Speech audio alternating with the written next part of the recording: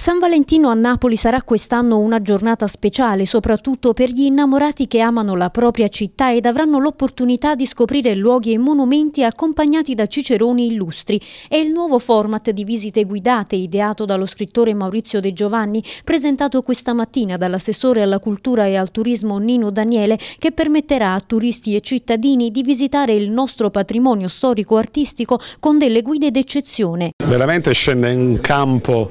un dream team fatto di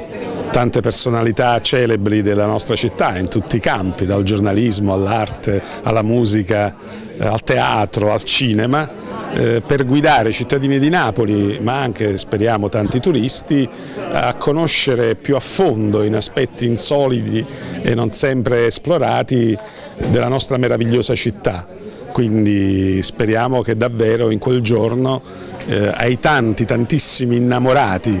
eh, di cui la città di Napoli già dispone, se ne aggiungano tanti e tanti altri e quando ci si innamora di Napoli è un amore per sempre. Con Angela Luce che farà da madrina, le visite inizieranno da Palazzo San Giacomo e proseguiranno in tutta la città, dal Maschio Angioino a Trentaremi, dal centro antico agli studi Rai di Fuorigrotta, da Castel dell'Ovo a Scampia. L'organizzazione della manifestazione, che si terrà nella mattinata di domenica 14 febbraio, è stata affidata all'Associazione di categoria Guide Turistiche Campane, presso la quale sarà possibile già da oggi prenotarsi attraverso l'indirizzo mail e i numeri in sovraimpressione.